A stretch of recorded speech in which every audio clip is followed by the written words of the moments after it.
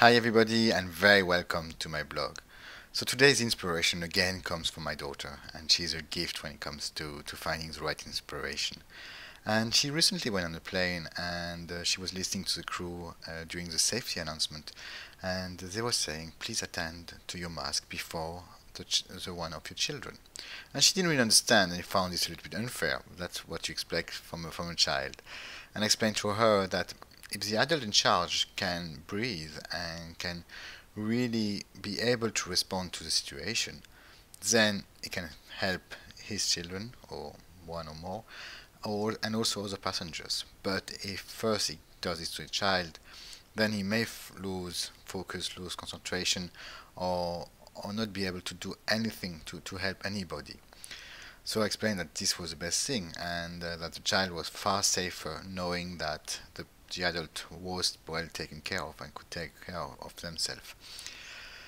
And this drove my, my talk today and uh, about are you looking after yourself and are you looking after every aspect of your life because if you want people around you to be happy and if you want to create a happy life the first person you need to take care of is yourself whether it's financially whether it's by your health whether it is uh, on your mental uh, strengths, on your possibility to um, to react, and also on on the way you feel.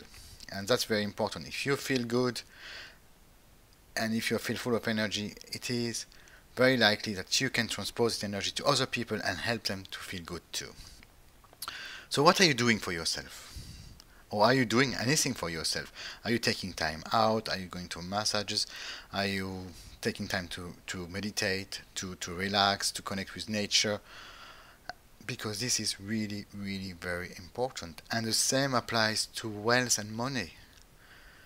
If you really want to contribute to your family, if you really want to contribute to the world, to your neighborhood, and so on, it is important that you take all the steps that are needed for you to earn the money and you to be wealthy because on this position you will have a far better, far more options to help people around you and people in the world in general.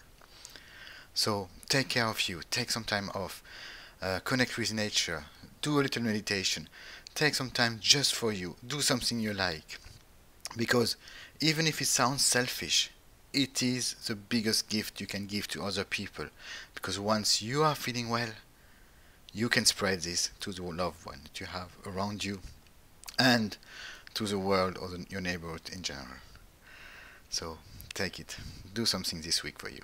You deserve this, and people around you deserve this. Okay, bye bye.